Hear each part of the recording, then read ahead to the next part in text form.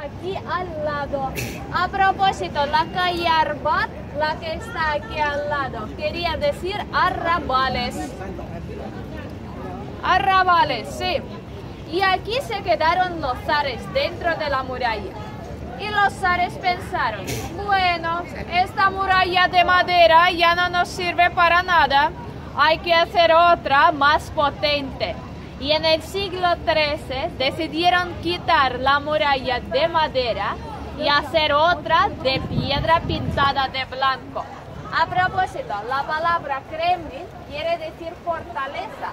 Y claro está que las fortalezas hay no solo en Moscú, sino en otras ciudades rusas. Pero en otras ciudades los Kremlin son de color blanco. Están hechas, hechas de piedra pintada de blanco. Pero Moscú fue la capital, sigue siendo la capital. Y los moscovitas querían distinguirse de todos los demás.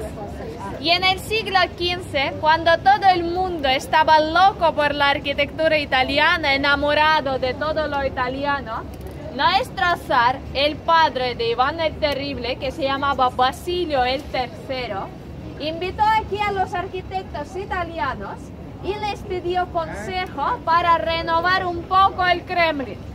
Pues los italianos, sin pensar mucho, dijeron, no hay problema, Quitamos otra vez esta muralla de piedra y hacemos otra de ladrillo.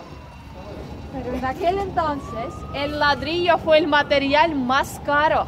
Hacer una muralla tan larga como esta, que tiene dos kilómetros, tan gruesa, en unos sitios el grosor alcanza 8 metros, tan alta, en unos sitios son 15 metros de altura, hacerla toda de ladrillo fue incapaz cualquier estado. Y nuestro zar lo dijo a los arquitectos italianos que Rusia no tenía tanto dinero.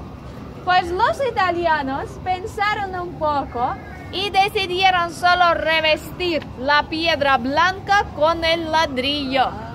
Por eso ahora lo que está dentro es piedra blanca, solo la capa superior es de ladrillo.